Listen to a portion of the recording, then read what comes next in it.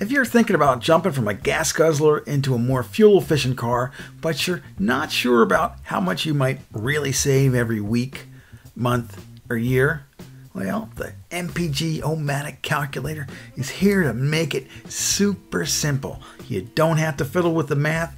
All you need to do is plug in the numbers. Those numbers are the cost per gallon and the miles per gallon of the new and old car, and the number of miles driven. So going to plug in a cost per gallon of $3.75. You know, gas has been more, gas has been less, but eh, a good number. And then we're going to go to the next field, to the mile per gallon field, and you'll see 375 was instantly copied down to the new car. So we're going to go to the miles per gallon field, and we're going to say your old vehicle was 18 miles per gallon. It's a gas guzzling SUV. And that you travel 20,000 miles, which is kind of a lot, but hey, plug in your numbers and see how they work out.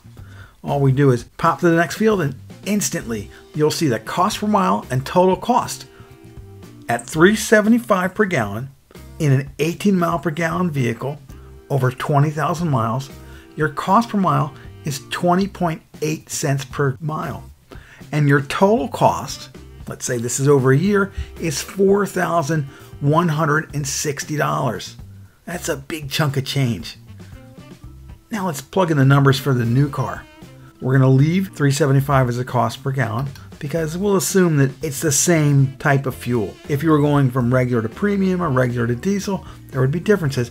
But for time being, we're going to stick with this 375. And all we're going to do is change the miles per gallon. And we'll plug in a fairly high number. We'll say 40 miles per gallon over 20,000 miles. Click in the field and bam, there it is.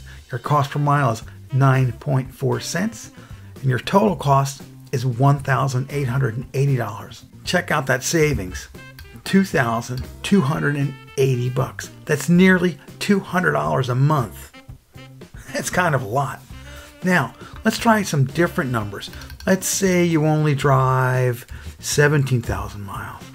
And you'll see the numbers instantly update. Click in a new field, and there they are.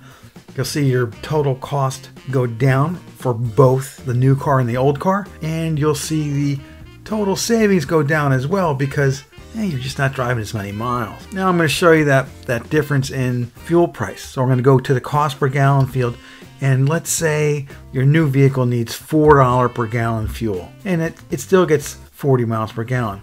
So right now your total cost over here is jumped up to 1700 so if you go from a vehicle that uses regular to a vehicle that requires premium or requires diesel fuel you can expect to pay more than than what you were used to but still you could see overall hopefully we'll see overall cost savings.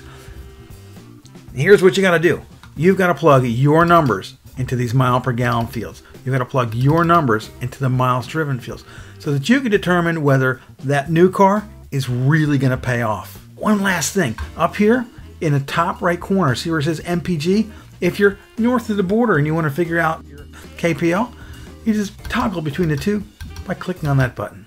And that way you can see your kilometers per liter. Catch you down the road.